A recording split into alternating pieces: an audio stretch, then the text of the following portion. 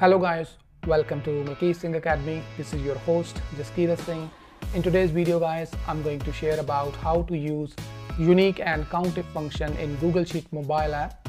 So if you are using Sheets in mobile and want to know the unique occurrences of all the entries in a row or a column, then you can apply unique and countif function which will really help you to get your desired results. So by applying these functions, not only give you your desired results but uh, also will help you to save a lot of your time and effort.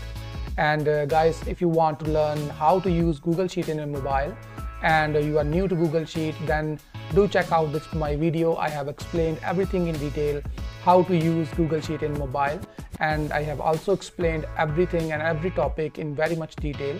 So i recommend you to watch this video. So let's start with this video guys. And if you are new to my channel don't forget to subscribe I regularly post these kind of videos related to computer and computer science on my channel. So let's start with this video guys.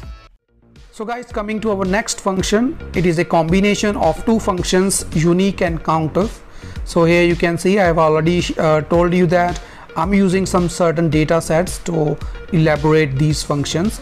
So this is a data set of a election. So maybe in a company election has taken place and all the employees has been casted their vote to all the like president for the financial officer for the post of legal officer and post of marketing officer. And these are the results. So these are the different votes by different employees. So these are the candidates you can see Jaskirat Jashandeep so these are the different candidates in different positions. So what if I want to like know how many candidates unique candidates for the post of president so I'm going to come here. So here you can see I have written, written the unique. So I'm going to click here and I'm going to write is equal to and I'm going to write unique. So here I have to provide the cell range. So the cell range is my from here to here because I want to find out the unique persons who are standing for the post of president.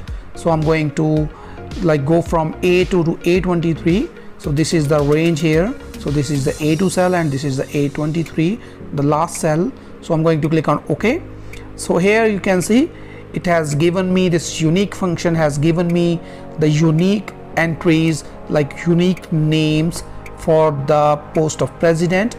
So these are the total number of employees you can see.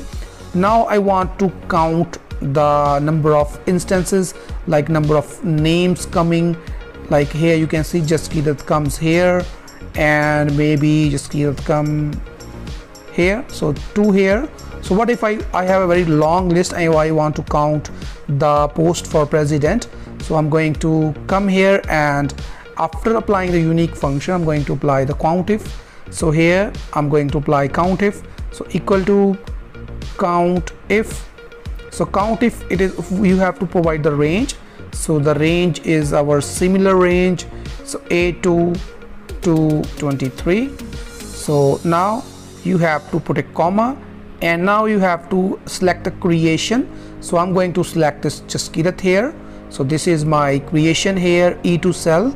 So it is going to count the number of instances that this jaskirat name comes in the post of president. So here you can see. Now i can scroll down and it is going to give me all the instances. So i'm going to click on autofill. So here you can see. So i have provided i have done the autofill. Now i have the result for this election like for the post of president. These are the votes. So you can see uh, of Malkeet Singh, John Sarah and Jashandeep has got four votes. So that means four times this these names are coming up here in the post of president.